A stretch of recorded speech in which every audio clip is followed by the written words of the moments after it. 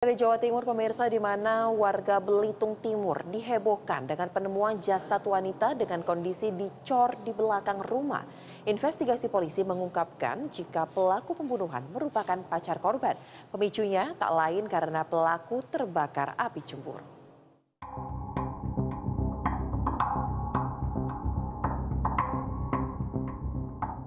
Warga Dusun Padang, Kabupaten Belitung Timur, Bangka Belitung dihebohkan dengan penemuan jasad wanita dicor di belakang rumah.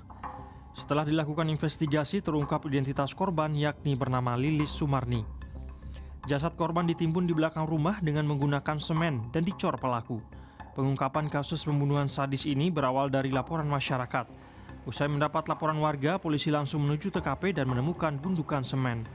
Jasad Lilis kemudian dievakuasi dan dibawa ke rumah sakit untuk kepentingan penyelidikan.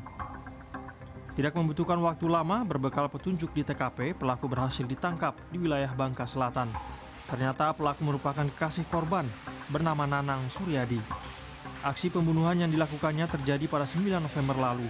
Berdasarkan pemeriksaan terhadap pelaku, motif pelaku membunuh korban lantaran terbakar api cemburu sebab korban menghubungi mantan suaminya berkolaborasi dengan satuan-satuan kepolisian di Pulau Bangka untuk melakukan uh, untuk membantu melakukan sweeping atau pencarian terhadap NS tersebut dan ditemukan di uh, oleh Satlantas Polres Bangka Selatan ketika melakukan membantu kita melakukan sweeping dan selanjutnya Kasat membawa NS untuk melakukan pemeriksaan guna mengetahui perbuatannya ke Polres yang lebih mengejutkan, pelaku membunuh korban dengan cara memukul kepalanya menggunakan cobek di dapur.